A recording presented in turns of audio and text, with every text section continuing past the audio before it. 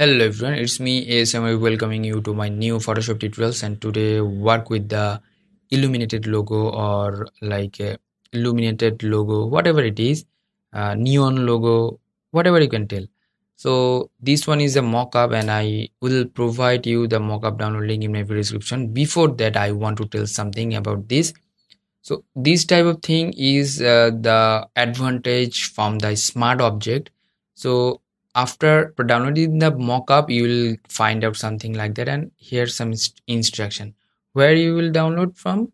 Please check my video description for the download link. If you're new in my channel please do subscribe and hit the bell icon for the new notification. In uh, illustrator i just written down something. Here uh, i'll provide you the font download link like that. And this one uh, the underlining or this type of uh, line how to add suppose you are in this font and now go to the text tool again and just press the slash and make this one bigger more bigger and right press create outline. And then press the shape and hold it and rotate this one. And you can just put it on here or under the portion where you want to just give. Okay nice. And you can select these things press ctrl c or command c. And then here is smart object which is the replace the skin and double click over there. It will open up a new window.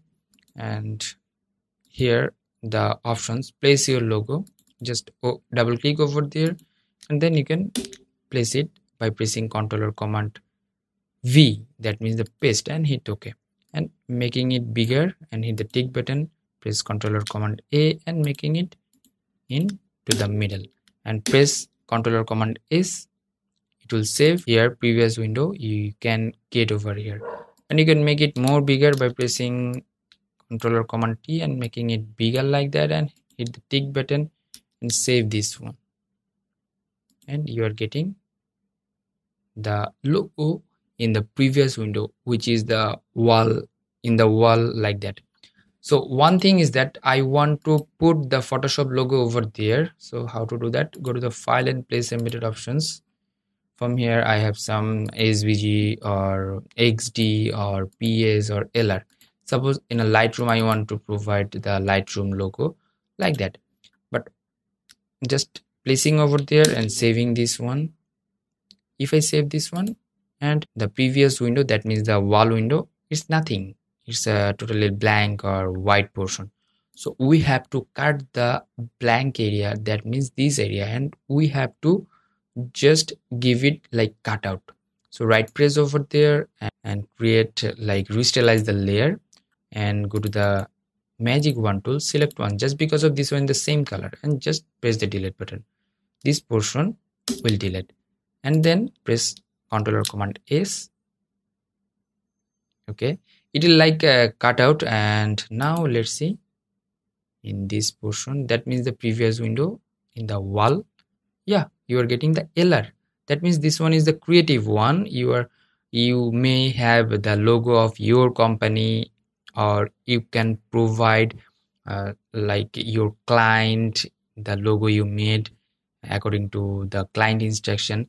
You can provide like that and this one is the way. And saving this one by pressing controller command s. And this one in this window. It will save.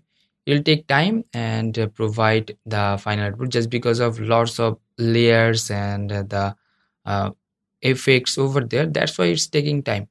Okay fine. Yeah. And now uh, actually this one was like that but i changes the color how I made this one just going to the adjustment layer and the hue saturation. From here select the colorize portion and it will provide the color. And which color you want to give over there you can do that. Suppose the lightroom color is uh, like that. You can provide like that. Or like this or this. If you want to make the saturation up you can use that panel here. That's good that's creative. So you can use like that. Suppose in a pink options in a red options violet blue whatever you want. And this one is a technique to make your mock-up more creative and you can uh, place your mm, logo into mockup section.